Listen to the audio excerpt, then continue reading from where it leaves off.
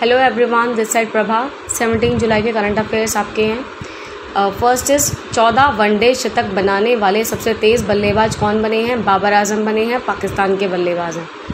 राजद्रोह कानून किस धारा के अंतर्गत आता है? 124 ए के अंतर्गत आता है और अगर कोई सरकार के खिलाफ बोलता है तो उसके खिलाफ ये धारा लगती है।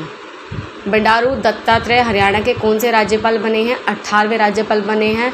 और पहले कौन थे? सत्यदेव नारायण आर्य थे। और जो सत्यदेव नारायण आर्य थे, उनको हटा के हरियाणा में दत्तात्रेय आ गए हैं और सत्यदेव नारायण को अब त्रिपुरा का गवर्नर बना दिया गया है। किस मंत्रालय ने नए ड्रोन नियम 2021 का मसौदा जारी किया है? नागरिक उड्डयन मंत्रालय ने, जो उनके हेड कौन है? ज्योतिर, ज्योतिरादित्य सिंधिया। असम में हुए आईईडी विस्फोटों में असम के साथ सीमा विवाद शुरू हुआ है किसका? मिजोरम का। Next is O E C D जिस किसके साथ मिलकर आउटलुक रिपोर्ट 2021 से 2030 प्रकाशित कर रहा है एफ़ ए ओ के साथ मिलकर कर रहा है।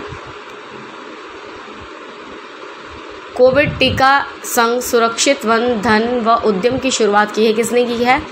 हमारे जनजातीय मंत्रालय ने की है। कोविड टीका संघ सुरक्षित वन, धन व उद्यम की शुरुआत। अर्जुन मुंडा ने की है। अर्जुन मुंडा जनजातीय मंत्रालय के मंत्री हैं। मॉन्ग फ्रूट की खेती कहाँ शुरू की गई है?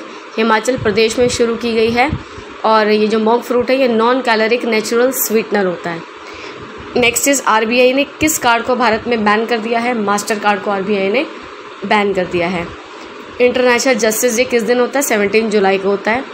Next is Johnson and Johnson covid nineteen vaccine vaccine के एमरजेंसी यूज़ के लिए किसने अलाउ कर दिया है? वियतनाम ने अलाउ किया है। दस साल यूएई गोल्डन वीज़ा दस साल के लिए किसको मिला है अब नेक्स्ट सानिया मिर्ज़ा को मिला है।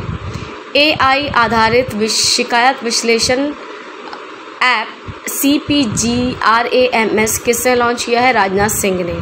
आर्टिफिशियल इंटेलिजेंस शिकायत विश्लेषण ऐप है ये जो राजनाथ सिंह ने किया है। U N W E P ने किस राज्य के साथ समझौता किया है? राजस्थान के साथ समझौता किया है। दिल्ली सरकार ने यात्रियों को बसों की रियल टाइम जानकारी के लिए किसके साथ साझेदारी की है? गूगल के साथ साझेदारी की है दिल्ली सरकार ने।